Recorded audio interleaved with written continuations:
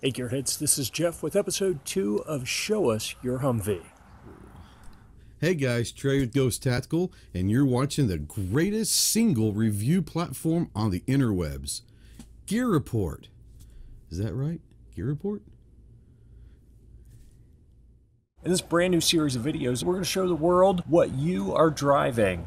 All you need to do is send me a picture or a link to download a video of your Humvee out doing whatever it is you do in your Humvee. And I'll put it here on Show Us Your Humvee.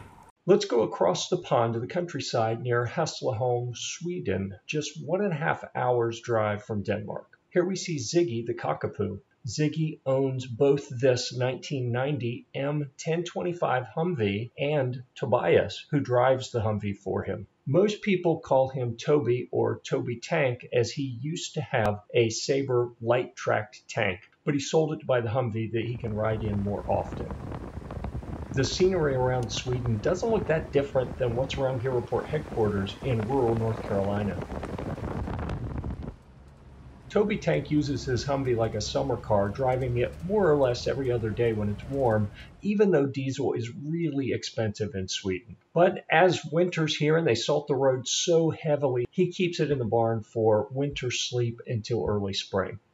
Toby brought the Humvee over from California a year ago. It was a real pain to get it road legal. He also has a, and, and I'm going to butcher this, Kubelwagen 1943 and some other shit. That's his words, not mine. Back to the Humvee. We can see a number of parts that can be challenging to find here in the US, like the functional turret assembly, supplemental armor doors, 24 bolt wheels, and a spare tire carrier.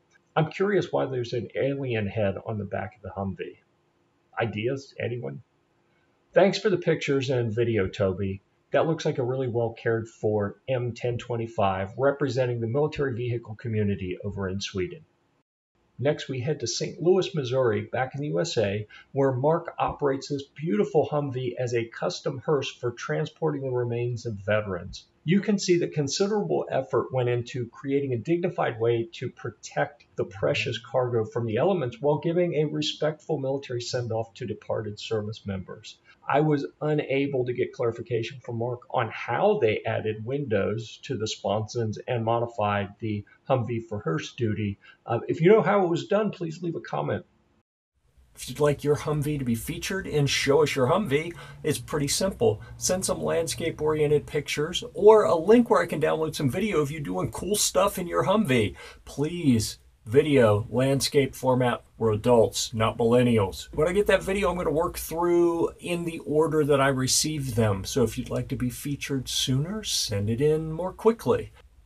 Thank you very much and we'll see you at the range